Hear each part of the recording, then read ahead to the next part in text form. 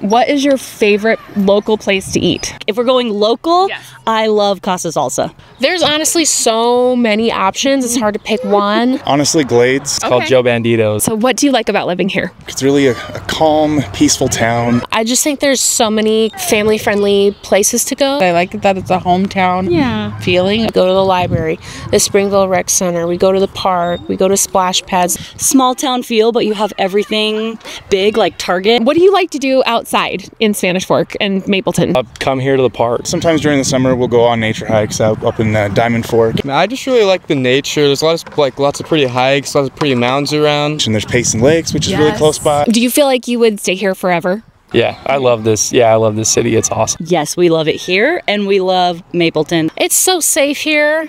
I I would say that. Yeah. I plan on staying.